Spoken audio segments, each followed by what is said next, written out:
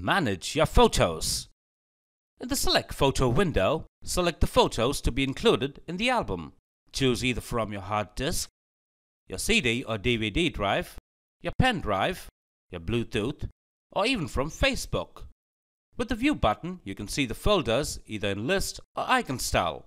From the top option bar, you can view the photos in different style, such as a thumbnail view, a film strip view, a full view, a list view, and also as a slideshow. You can zoom in thumbnails for a better, larger view. From the bottom edit bar, you can edit multiple photos or edit photos individually. You can also rotate, sort, or select these photos. From the batch edit button, you can edit multiple photos. To select the photos to be edited, say here, you can rotate your photos clockwise and anti-clockwise. Resize the photo with the Resize option from the Batch Edit button. Tick the checkbox on the extreme right of the files to be resized. Now if you want to resize your photos percentage-wise, choose the percentage option or select the desired percentage from the drop-down list box. You can see the changes applied from the original and new tab. While resizing the photos, quality column helps redefine the quality of the photos.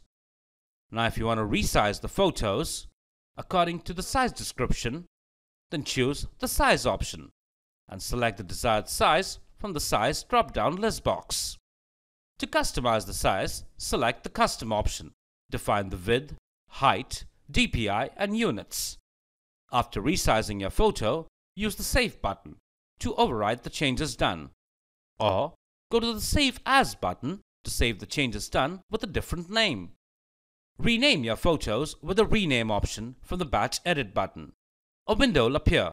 From the Format option, change the format of the photo name. Change the starting number of the photos from the Start From option. View the changes done from the New File Name tab. Save will save the changes done. From the Edit, you can edit individual photos in the same way as that of Batch Edit. The Enhance option here will allow you to color correct your photos individually. For more details, see the Edit Photo video number 10.